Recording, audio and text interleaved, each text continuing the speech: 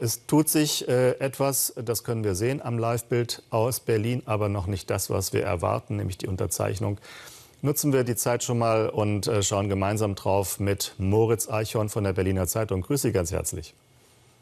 Morgen. Wir haben ja vor einiger Zeit kurz nach der Wahl über das äh, geredet miteinander, was sich da ereignet hat äh, bei dieser Wahlwiederholung. Ähm, jetzt stehen wir an einem Punkt, da haben wir, glaube ich, beide nicht dran geglaubt, oder? Nee, ich muss ganz ehrlich sagen, vor der Wahl gar nicht, nach der Wahl ein wenig mehr. Aber der Kai Wegner hat das geschafft. Das ist heute wirklich ein Sieg für ihn und das ist äh, eine taktische Meisterleistung. Denn er musste am Ende ja eigentlich drei Wahlkämpfe führen. Den ersten bis zum 12. Februar um die Stimmen der Bürger, dann danach um den Koalitionspartner. Da ging es dann auch viel um Persönliches. Da haben die Grünen ihm geholfen, weil Jarasch und Giffer ja einfach nicht gut miteinander klarkommen. Grüne wollten die Regierende entmachten. Sie sollte alle Termine mit den einzelnen Ressorts absprechen. Und dann der dritte Wahlkampf war der um die Stimmen der äh, SPD-Parteibasis. Ja, und, und wir gehen mal ganz, wir müssen, Herr Eichhorn, ja. ganz kurz äh, live nach Berlin gehen. Es geht dort los. Ja, meine Damen und Herren, herzlich willkommen hier im Festsaal des Berliner Abgeordnetenhauses. Der Raum sieht heute ein bisschen anders aus als zu unseren Koalitionsverhandlungen, äh, aber er sieht trotzdem auch gut aus. Und ich freue mich, dass Sie heute so zahlreich erschienen sind. Heute nach intensiven, guten, konstruktiven Sondierungsgesprächen, nach intensiven, guten und konstruktiven Koalitionsverhandlungen, nach einem Mitgliederentscheid der SPD und nach einem Landesparteitag der Berliner CDU sind wir nun soweit, den Koalitionsvertrag unterschreiben zu können. Und das wollen wir heute auch tun. Das Beste für Berlin, das hat sich, Franziska, in den Koalitionsverhandlungen so ergeben, dass das der Titel unseres Koalitionsvertrages ist. Und genau darum geht es.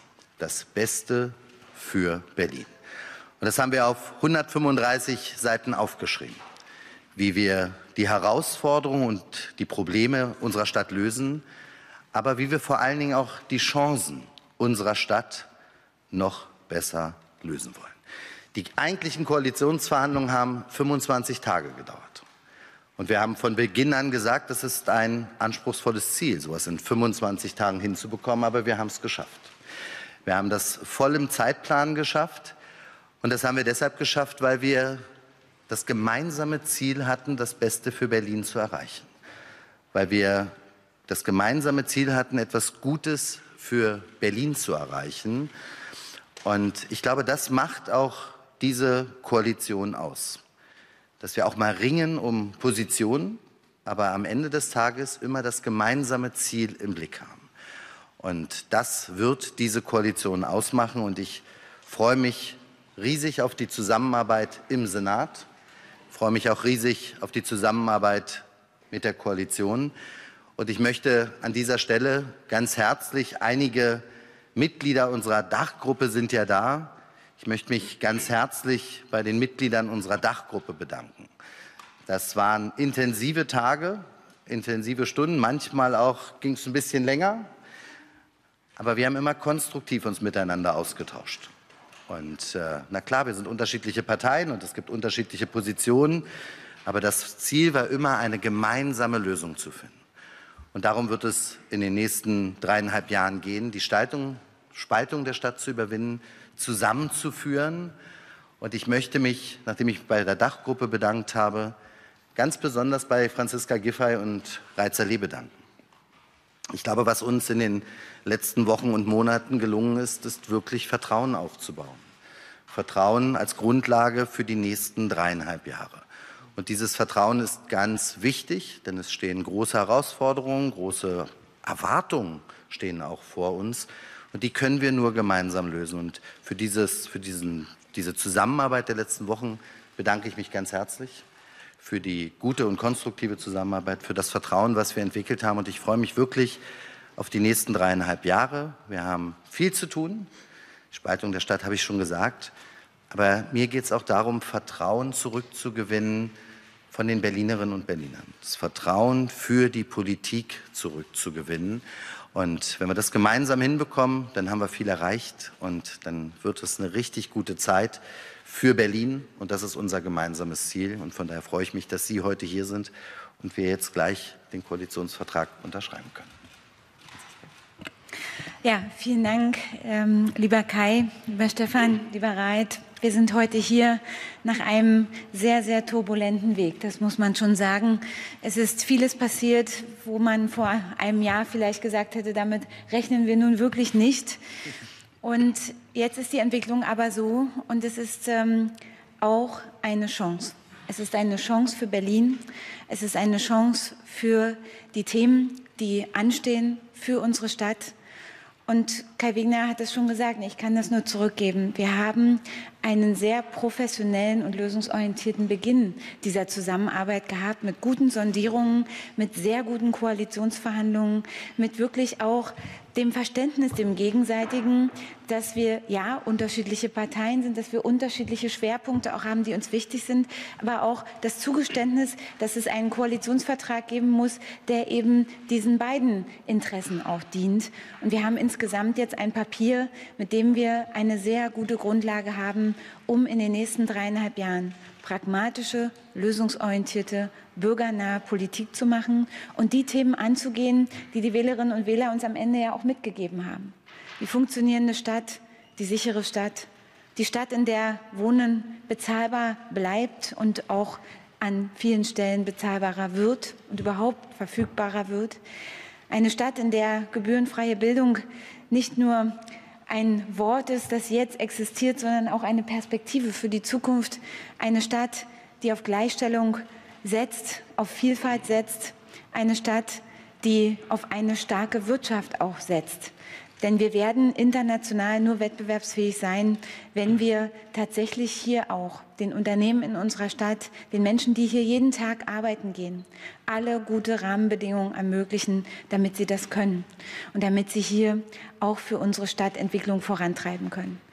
Und wir wollen das gemeinsam tun in einem wirklich auch motivierten Angang, der sagt, jetzt geht es darum, dass wir anpacken. Wir haben viele, viele Monate diskutiert. Wir haben auch viele Monate eine unsichere Situation gehabt. Aber mit dem heutigen Tag, mit der Unterzeichnung dieses Vertrages und morgen dann mit der Bildung einer neuen Landesregierung fängt die Zeit des intensiven Arbeitens auch an. Und dann legen wir los und dann wird es darum gehen, dass wir sehr, sehr schnell auch Verbesserungen in den Politikfeldern, die wir vereinbart haben, für die Berlinerinnen und Berliner erreichen und dass wir das gemeinsam tun, in einer professionellen und vertrauensvollen Zusammenarbeit. Und daran liegt mir sehr, sehr viel. Ich finde es sehr wichtig, dass wir als Senat dann als neue Landesregierung insgesamt zusammenstehen und für Berlin zusammen das Beste ermöglichen und erreichen. Und das hoffe ich, dass es gelingt. Ich denke, die Koalitionsverhandlungen und die Sondierungen können uns zuversichtlich stimmen, dass das gelingt. Und ich freue mich auf diese Zusammenarbeit. Ich bin überzeugt, dass es jetzt in dieser Lage, in der wir sind in Berlin, der richtige Weg ist und dass wir diesen Weg heute auch beginnen. Und darüber freue ich mich und ich bedanke mich und ich freue mich auf die Zusammenarbeit sowohl mit unserem Team, aber auch mit den Kolleginnen und Kollegen von der CDU auf gute Zusammenarbeit. Ja, meine sehr geehrten Damen, meine sehr geehrten Herren, es ist soweit. Heute wird der Vertrag unterzeichnet. Ein Koalitionsvertrag, der von vielen in der Stadtgesellschaft auch ähm, Beobachtung gefunden hat. In den Koalitionsvertrag stehen viele gute Punkte für die Stadt, ganz viele Punkte, die gerade erwähnt worden sind, ganz viele Punkte gerade im Bereich von guter Arbeit, gleicher Lohn für gleiche Arbeit, die Rückführung der Töchterfirmen von Charité und Vivantis ins Mutterkonzern und ganz viele andere Punkte. Dieser Koalitionsvertrag ist die Grundlage für die nächsten dreieinhalb Jahre. Er ist die Grundlage für eine gute, für eine verlässliche und für eine gemeinsame Gestaltung der Politik, die auf Vertrauen basiert und darauf basiert, dass wir gemeinsam all die Punkte jetzt gemeinsam auch abarbeiten. Viele werden jetzt diese Koalition beobachten. Viele werden die Koalition beobachten und sagen, was bringt diese Koalition der Stadt? Und wenn wir das schaffen, im Geiste der Verabredungen, der Gespräche, die wir hatten, jetzt das zu liefern, dann wächst über diese Koalition hinaus auch, glaube ich, ein Stück weit Vertrauen wieder bei der Bevölkerung. Ich habe es oft gesagt, es ist keine Liebesheirat und muss auch keine sein. Es ist eine Verabredung auf dreieinhalb Jahre. Aber die Grundlage, die wir geschaffen haben im Koalitionsvertrag, sie ist so gut, dass ich glaube, dass Menschen insgesamt wieder Vertrauen zurückgewinnen in die Politik. Dass Menschen sagen, ja, Politik beschäftigt sich nicht mit sich selbst, sondern kümmert sich quasi um die Herausforderungen, die es gibt. Und eine Herausforderung ist, dass Berlin auch wieder zusammenwächst, was Innenstadt und Außenstadt betrifft. Man kann an verschiedenen Parametern ablesen, dass es durchaus da auch unterschiedliche Vorstellungen gibt. Und die Kunst besteht darin, am Ende tatsächlich zu sagen, dass diese Koalition mit der Grundlage des Vertrages das schafft, wieder auch dieses Zusammenführen der Gesellschaft. Und ich bin mir sicher, das wird gut. Ich bin mir sicher, das wird gut, weil die Grundlage gut ist, und zwar ein Koalitionsvertrag, der auf Augenhöhe ausverhandelt wurde, ein Koalitionsvertrag, der aus meiner Sicht als Sozialdemokrat die notwendigen Punkte enthält, um als Sozialdemokrat zu sagen, das ist eine gute Grundlage für die nächsten dreieinhalb Jahre. Und ich bin mir sicher, das wird gut. Ja, liebe Franziska, lieber Reit, lieber Kai, auch von meiner Seite, auch an euch alle gerichtet, äh, einen ganz großen Dank für die vergangenen Wochen der intensiven programmatischen Arbeit, die es war und vor allem für den gemeinsamen Geist, der über dem Ergebnis steht. Das ist jetzt schon oft gesagt worden und ich kann es nur wiederholen. Es geht darum, Vertrauen zu schaffen. Es geht darum, Vertrauen zurückzugewinnen. Es geht darum, zusammenzuführen, auch Gegensätze zu überwinden. Und genau das ist uns in den Koalitionsverhandlungen gelungen. Und dafür ist dieser Koalitionsvertrag auch ein sehr eindrucksvoller Beleg. Es geht um Verlässlichkeit. Das steht ja auch auf dem Titelblatt des Koalitionsvertrages. Und damit meinen wir gar nicht nur die Verlässlichkeit unter Koalitionspartnern. Damit meinen wir den Anspruch der Berlinerinnen und Berliner gegenüber ihrer Regierung, gegenüber der Politik. Die muss verlässlich sein.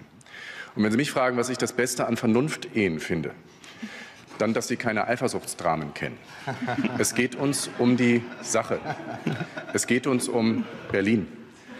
Und wenn ich mir die Senatsmannschaft anschaue, die euch, die uns gelungen ist, gemeinsam jetzt auch der Öffentlichkeit vorzustellen, die diverseste und wie ich finde, aber auch mit Abstand äh, strahlendste Mannschaft, die Berlin seit langem gesehen hat. Überwiegend Frauen, und zwar deutlich überwiegend. Wann hat es das in Berlin zuletzt in einer Regierung gegeben? Hat ja. es das je gegeben? Jetzt auch. Jetzt auch. ähm, aber in der Summe muss man mal sagen, das ist eine Mannschaft, die genau den gleichen Geist zum Ausdruck bringt, der auch in diesem Koalitionsvertrag verankert ist. Aus ganz unterschiedlichen Richtungen kommt hier ein Team zusammen, das Berlin nach vorne bringen will. Deswegen geht es mir auch und uns gemeinsam nicht nur um die Buchstaben des Koalitionsvertrags, es geht auch um die Menschen, die das mit Leben erfüllen werden, mit Leben erfüllen sollen. Auch da habe ich volles Vertrauen und insofern schauen wir mit Zuversicht und äh, schaue ich auch äh, frohgemut auf die nächsten Jahre. Ja, es ist enorm viel Arbeit. Es sind gigantische Herausforderungen, vor denen wir stehen. Aber ich habe gestern in einem Interview auf die Frage, wo will denn diese Koalition jetzt das Tempo eigentlich vorgeben, habe ich gesagt, die Antwort wird nicht leicht zu beantworten sein. Wir haben nur dreieinhalb Jahre. Wir werden überall Tempo machen. Und die Berlinerinnen und Berliner erwarten nichts anderes. Und in diesem Sinne auf gute Zusammenarbeit. Ich freue mich wirklich darauf. Ich freue mich, was alle Kollegen angeht, darauf.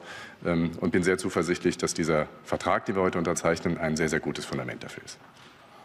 So, so. na dann, unterschreiben.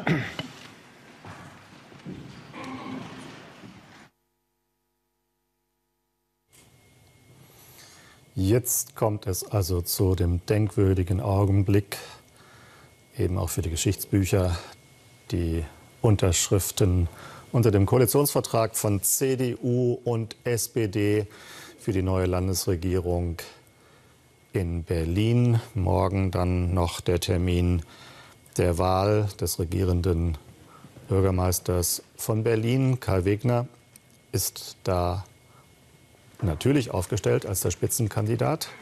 Das ist auch jetzt schon bei der Ressortverteilung so belegt worden, dass die Ressorts gleichmäßig verteilt sind und obendrauf dann noch das Amt des regierenden Bürgermeisters. So, Franziska Giesfrey setzt ihre Unterschrift und ähm, Moritz Eichhorn von der Berliner Zeitung ist uns noch zugeschaltet. Äh, dass Frau Giffey, da müssen wir ganz kurz drüber reden, quasi in die zweite Reihe zurücktritt, äh, ist auch schon recht ungewöhnlich, weil ja doch manche Politiker auch immer gerne damit glänzen, ähm, sich nicht äh, rückwärts zu bewegen oder äh, herab zu bewegen, sondern eher nach oben wollen, oder? Ja, in Deutschland ist das unüblich. In manchen skandinavischen Ländern oder in Israel kann man auch mal aus der ersten Reihe in die zweite zurückwechseln. Aber ich glaube, das war ein sehr schlauer Schachzug von Franziska Giffey, denn sie hätte zwar mit Rot-Grün-Rot weitermachen können, theoretisch, aber die Grünen wollten eigentlich, weil das Wahlergebnis ja so knapp war, nur ein paar hundert Stimmen, wollten sie eigentlich entmachten. Sie hätte sich jeden Termin, den sie als Regierende wahrnimmt, von den Grünen, wenn es in deren Ressort gefallen wäre, absegnen lassen müssen.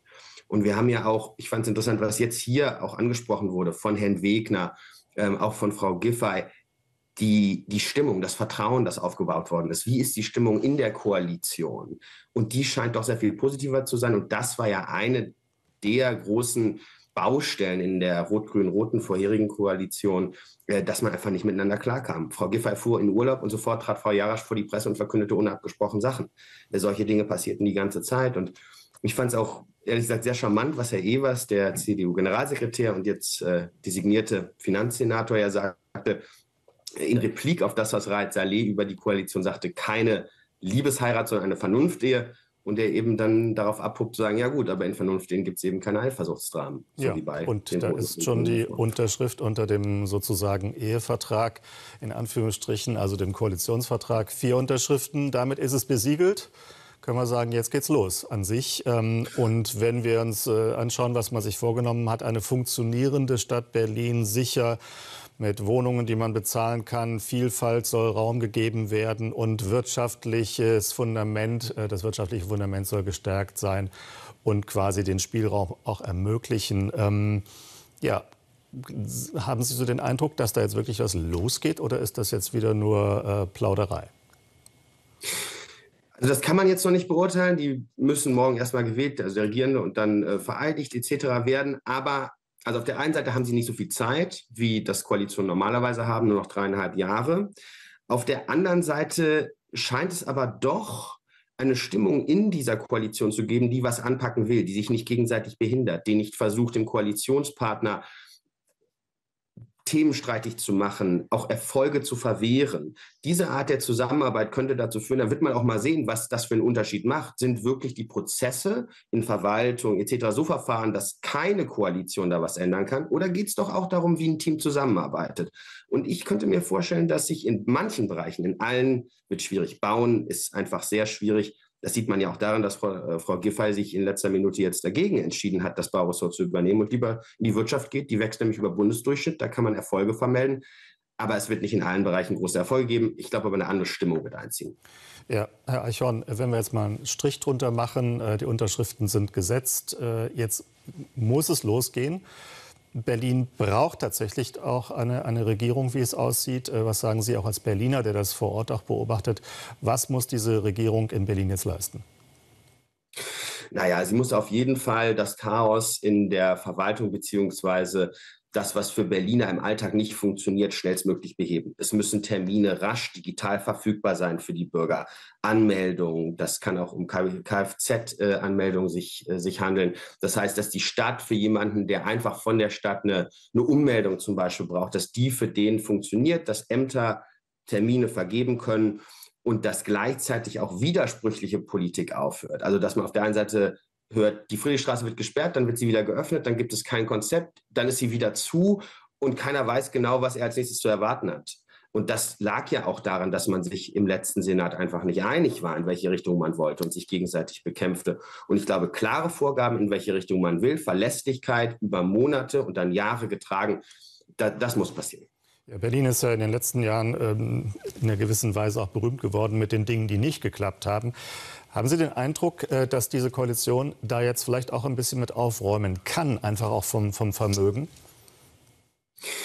Naja, ich hatte ja vorhin kurz angesprochen, dass Wegner drei Wahlkämpfe führen musste. Einmal den bis zum 12. Februar um die Stimmen der Bürger. Da hat ja stark auf das Thema Sicherheit gesetzt. Das verschwand nach der Wahl. Plötzlich sagt er, das sei alles Wahlkampf gewesen. Wenn man die Präambel des Koalitionsvertrags schaut, sieht man erst im letzten Punkt neuen Respekt für die Polizei, Sicherheitsorgane etc.